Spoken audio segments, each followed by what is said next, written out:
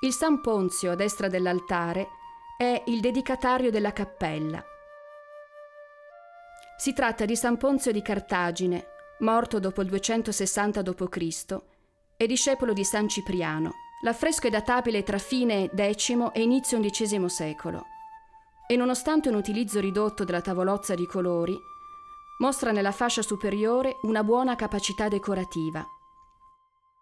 Il santo è raffigurato con la carnagione scura, nell'atto di mostrare un'ostia consacrata e un libro chiuso. Indossa un ricco piviale rosso bordato d'oro.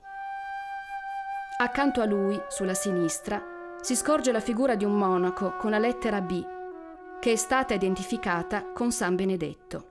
Questo testimonia come proprio i monaci benedettini furono tra i primi artefici della rinascita di molte terre nella valle del Tanaro e nel Roero negli ultimi decenni del X secolo.